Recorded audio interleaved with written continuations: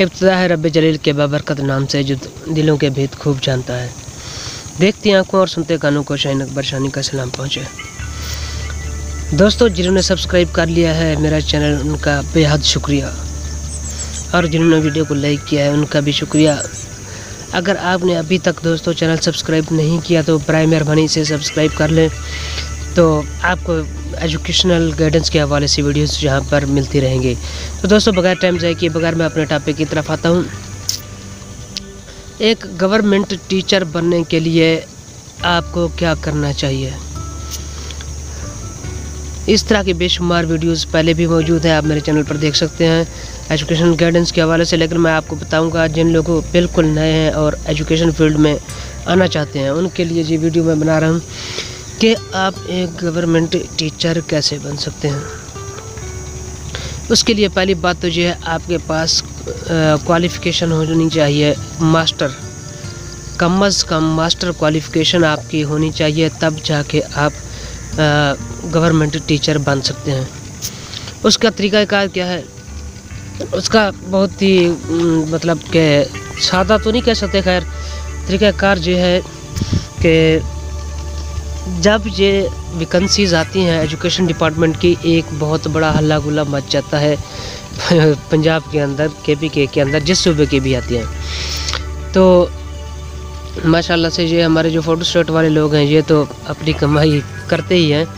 उसके साथ साथ बहुत से ज़्यादा स्टूडेंट्स को जो अप्लाई कर रहे होते हैं, या जो नए स्पीड में आना चाहते हैं, उनके लिए ज़रूरी ये है कि जैसी ही वैकेंसीज आती हैं, उसके बाद आपको जो है ना, अपनी मुतल सीट, असामी वैकेंसी और अपने मुतल डिस्ट्रिक्ट में अप्लाई करना होता है। उसके लिए जैसे ही इश्तहार आता है, आप पहले तो आपने एक एन टी एस की वेबसाइट पे जाना होता है वहाँ से एक फार्म निकलता है, जहाँ पे आप अपने तमाम एजुकेशनल डॉक्यूमेंट्स लेके जाते हैं। तमाम एजुकेशनल डॉक्यूमेंट्स आपको लेके जाने पड़ते हैं। वहाँ पे आपकी डाटा एंट्री होती है, सारा कुछ मैट्रिक परसेंटेज uh, क्या है मार्क्स कितने हैं टोटल मार्क्स कितने ये मैट्रिक से लेकर आपके मास्टर तक या अगर बीएड है तो एक्स्ट्रा क्वालिफिकेशन तो वो भी अगर एम है तो वो भी एमएस है तो वो भी आपकी जो है ना, उसकी डिटेल भी आपको वहाँ पर देनी पड़ती है। तो इस डिटेल वो आपको कंप्यूटर पर uh, एनटीएस की वेबसाइट पर फिल करते हैं। तो इस मुझे याद आ गई कि जब ये सीट्स आती हैं तो एनटीएस का सिस्टम वेबसाइट अक्सर हैक हो जाती है। उस पर बहुत ज़्यादा लोड आ जाता है। तो कोशिश किया करें कि जैसे ही वैकेंसीज आती हैं, आप जल्द से जल्द अप्लाई करने की कोशिश किया करें। अच्छा जी अप्लाई कर लेते हैं आप वो कंप्यूटर से। उसके बाद आपको एक एनटीएस की तरफ़ से आपको रसीद मिलती है। वो भी आपने प्रिंट कर लेनी है। वो असल में चलान फार्म होता है। एक पेज निकलता है। उस पर तीन चालान फार्म होते हैं, उस पर आपका नाम लिखा होता है वजियत लिखी होती है, शनाख्ती कार्ड नंबर भी लिखा होता है। तो वो आप निकाल लेते हैं, उस पर आपके ड्यूज़ लिखे होते हैं, वो जाके आपने जो मुतल बैंक्स हैं बैंक्स का भी नीचे लिखा होता है, जिस बैंक में आप जमा करा रहे हैं, उस बैंक को आपने टिक करना होता है। टिक करने के बाद जी आप बैंक में अपनी फ़ीस जमा कराते हैं, उसके बाद क्या करना है? उसके बाद करना जो है कि वो जो चलान फार्म तीन होते हैं एक बैंक वाले रख लेते हैं दो आपको वापस मिल जाते हैं। तो एक आपके अपने के लिए, के लिए होता है और जो दूसरा चलान फार्म होता है वो आपने भेजना होता है एनटीएस को इस्लामाबाद उनके एड्रेस पर जो कि एच एट में है। तो उसको भेजने के बाद जो है आपकी अप्लाई हो जाती है। जैसे ही आप रूल नंबर स्लिप्स जारी होते हैं, आपको मैसेज आते रहते हैं, या ईमेल एड्रेस आप फ़ोन नंबर वही दें जो आपका चल रहा होता है। और बाज़ात ये गलती करते हैं कि एक सिम अगर जू की है या टेलनार की या किसी दूसरे नेटवर्क में कन्वर्ट है तो वहाँ पर अक्सर मैसेज नहीं मिल पाते। तो कोशिश किया करें कि वो नंबर दें जो आपका किसी दूसरे नेटवर्क में कन्वर्ट ना हो ओरिजिनल हो तो आपको मैसेज मिल जाएगा। वो मैसेज आपने डिलीट तब तक नहीं करना जब तक आप एनटीएस का मुतल पेपर नहीं दे सकते दे नहीं लेते। उस वक्त तक आपने ये चीज़ मैसेज अपने पास रखना है स्क्रीनशॉट भी ले लें, उसको अपने पास रखें। तो अब पेपर की डेट दी होती है सेंटर दिया होता है, आपका जो है ना टाइमिंग भी उसी आपको रोल नंबर स्लिप के अंदर मिल जाती है। उसका आपने एक प्रिंट ले लेना है। वो प्रिंट जिस दिन आपका पेपर हो तो वो पेपर वाले दिन आपने अपना प्रिंट साथ लेके जाना होता है। तो उसके बाद क्या होता है जी, वो आपका एनटीएस का जो स्लिप जारी शुदा होती है वो चेक करते हैं। उसके बाद शनाख्ती कार्ड ओरिजिनल ओरिजिनल ही लेके जाएँ, रंगीन कापी ले जाने की हरगिज़ कोशिश मत करें या फ़ोटो कापी ले जाने की हरगिज़ कोशिश मत करें। अगर किसी तरह से आपका मतलब ये कि शनाख्ती कार्ड आपके पास नहीं है नादरा का ओरिजिनल तो उसके लिए मैट्रिक की आप सन्नत लेके जाएँ, ड्राइविंग लाइसेंस लेके जाएँ, ये चीज़ें लेके जाएँ, बहुत बाज़ दफ़ा ये सख्ती करते हैं ताकि आपको बाद में कोई मुश्किल पेश ना आए। इसलिए मैं आपको पहले बता रहा हूँ कि ओरिजिनल शनाख्ती कार्ड लेके जाएँ, अगर आपके पास अवेलेबल नहीं है तो मैट्रिक की सनद लेके जाएँ, या उसके बाद ड्राइविंग लाइसेंस आपके पास, या कोई ऐसा डॉक्यूमेंट्स जिससे मुकम्मल तौर पर प्रूफ हो सके कि ये आप ही हैं। तो उसके बाद आपका जो रूल नंबर होता है, आप गेट्स पे एक दफ़ा चेकिंग होती है आपकी। गेट से जो चेकिंग करने के करने के बाद अगर आपके पास मोबाइल है तो वो मोबाइल आपको जमा कराना पड़ता है। वहाँ पर काउंटर्स बने होते हैं। वो आपसे सिक्योरिटी लेते हैं, अपनी मर्ज़ी की। पचास ले लेते हैं, तीस ले लेते हैं, सौ ले लेते हैं, जिन, जितना उनका दिल करे। तो वो मोबाइल फ़ोन आपको जमा कराना पड़ता है वहाँ काउंटर पे। मोबाइल आपका जो है ना, वो नंबर लगा के देते हैं, एक मोबाइल पे नंबर लगा के देते हैं, एक आपके शनाख्ती कार्ड या फिर एनटीएस की जो रूल नंबर, स्लिप आपके पास होती है, उस पर लगा के देते हैं। ताकि वापसी पे जब आप आके अपना नंबर दिखाते हैं तो उसी वो आपके मोबाइल पर भी अगर मान लें कि आपके पास बीस नंबर आपको मिला हुआ है तो 20 नंबर की वो दो पर्चियाँ होती हैं, एक पर्ची आपके मोबाइल पे लगा देते हैं, एक आपके रोल नंबर स्लिप पे या शनाख्ती कार्ड पे। जब आप वापस लेने जाते हैं तो वो अपने दिखा देते हैं कि मेरा 20 नंबर है। तो वो पर्ची जो लगी, उनकी तरफ़ से लगी होती है रोल नंबर स्लिप पे या शनाख्ती कार्ड पे, वो भी आप दिखाते हैं कि बीस नंबर है मेरा मेरा, मुझे मेरा मोबाइल चाहिए। तो वो बंदा आपको मोबाइल दे देता है। तो ये तो हो गया कि आपने जो है ना, चेकिंग भी आपकी हो गई। शनाख्ती कार्ड भी देख लिया गया, रोल नंबर स्लिप भी आपकी देख ली गई, आप इंटर भी हो गए। अब वहाँ पे जब आप इंट्रेंस में जाते हैं तो वहाँ पर एक लिस्ट लगी होती है। लिस्ट किस तरह से लगी होती है? वहाँ पे रूल नंबर लिखे होते हैं मतलब के वक्फे से। तीन हज़ार मतलब फॉर एग्ज़ाम्पल मैं आपको समझाने के लिए बता रहा हूँ, तीन हज़ार चार से तीन हज़ार बीस तक। रूम नंबर आगे लिखा होता है कि ये रूल नंबर है। बाज़ दफ़ा नए टीचर हजरात जो स्टूडेंट्स होते हैं, वो गलती क्या करते हैं मेरे भाई? वो ये गलती करते हैं कि अपना पर्सनल रोल नंबर वहाँ पे लिस्टों में देखना शुरू कर देते हैं। तो आपका जो पर्सनल रोल नंबर है, वो आपको कभी भी वहाँ नहीं मिलेगा। जस्ट आपने देखना चाहिए कि आपका रोल नंबर किस लिस्ट में, किस रूम में आ रहा है। मान लें कि अगर आपका रोल नंबर है तीन हज़ार सत्रह तो आप फॉर एग्ज़ाम्पल लिस्ट लगी हुई है तीन हज़ार से तीन हज़ार बीस तक जो है ना, एक रूम है रूम नंबर सेवन तो उसी उसी में आपका नंबर रोल नंबर फॉल कर रहा है। तो उसी रूम के अंदर आप जाएँगे। रूम के अंदर एंट्री के वक्त फिर से आपकी चेकिंग होगी। जो वहाँ पे इन्वेजिलेटर हजरात होंगे, वो आपकी एक दफ़ा फिर चेकिंग करेंगे। तलाशी लेने के बाद आप जाएँगे। चेयर्स लगी होती हैं। चेयर्स पे रूल नंबर की, आप, हर किसी के रूल नंबर की एक पर्ची लगी होती है। या तो फिर वो चाक से उन्होंने लिखा होता है। तो आप अपना रोल नंबर जहाँ चेयर पे लिखा होता है, उसी को तलाश करके आपने वहाँ पर बैठ जाना है। जी तो उसके बाद क्या होता है? उसके बाद ये होता है कि पेपर देने से पहले एक दफ़ा फिर से भी बाज़ अवत जब सख्ती हो तो चेकिंग कर लेते हैं रूम के अंदर। तो मेरे भाई कोई गैर मुतल मवाद ऐसा वैसा ले जाने की कोशिश मत करें। चाहे वो मोबाइल हो, कैलकुलेटर या इस तरह की चीज़ें बिल्कुल भी ले जाने की कोशिश मत करें। आपके लिए मसला हो सकता है। तो अपनी इज़्ज़त का ख्याल करें।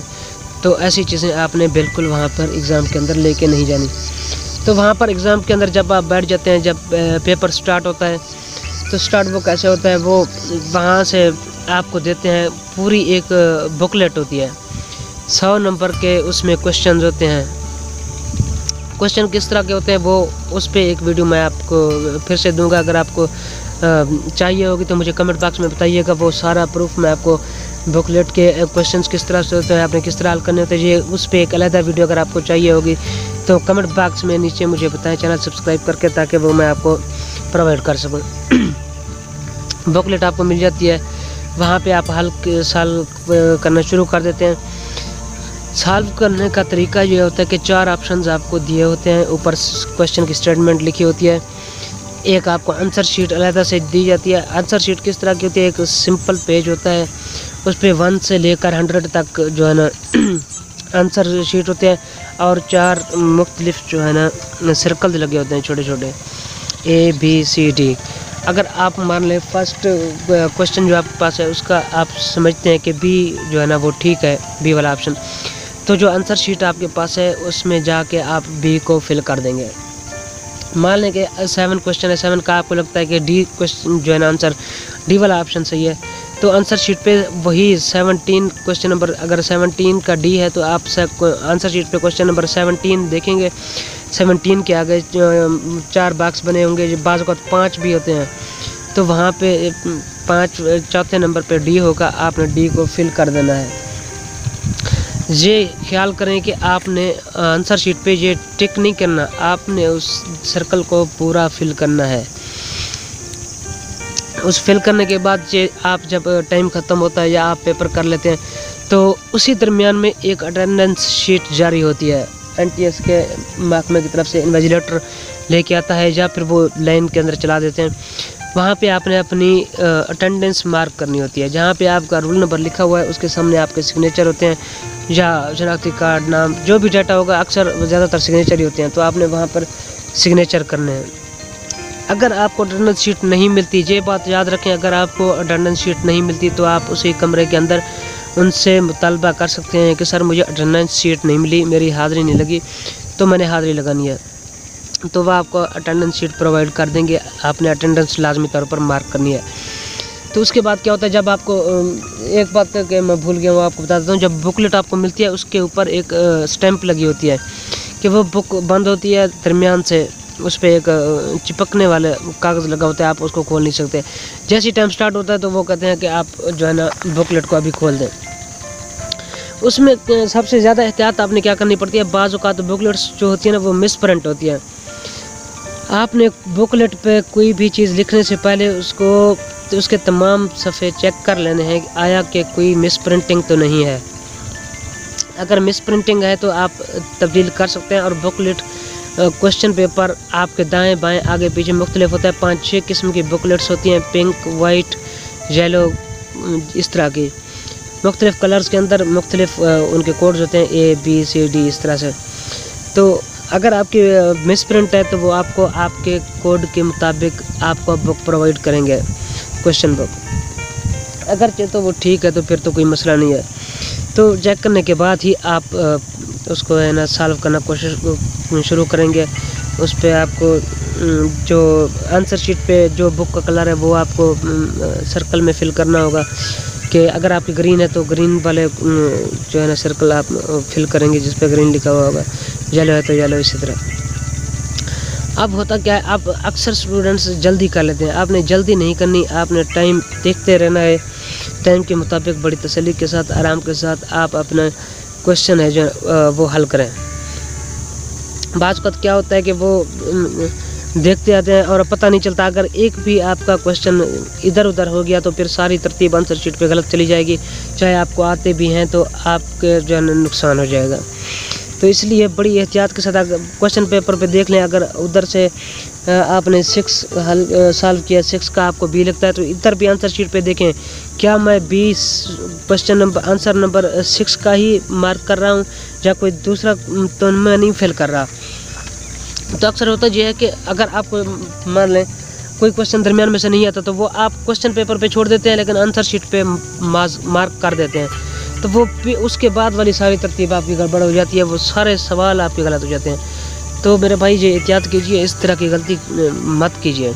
चलें ये उसके बाद जब पेपर मतलब है कि टाइम ख़त्म होता है, जहाँ आपने कर लिया होता है तो आधे टाइम तक आपने वहाँ पर एग्ज़ामिनेशन रूम के अंदर रहना होता है। आधे टाइम से गुजर जाने से पहले आपको रूम छोड़ने की इजाज़त नहीं होती।